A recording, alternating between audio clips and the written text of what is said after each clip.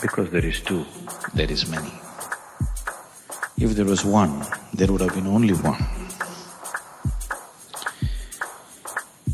When I say two, the duality is like light and darkness and female, life and death.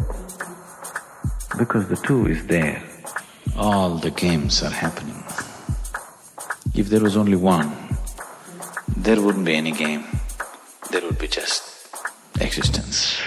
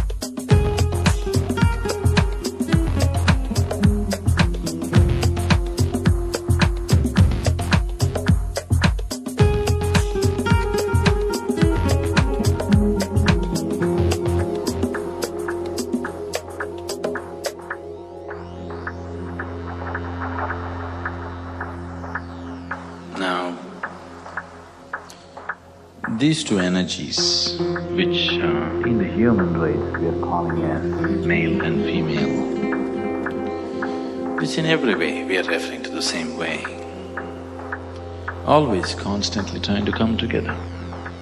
At the same time, except for this longing to be together, there is nothing common between them. They're lovers and enemies at the same time.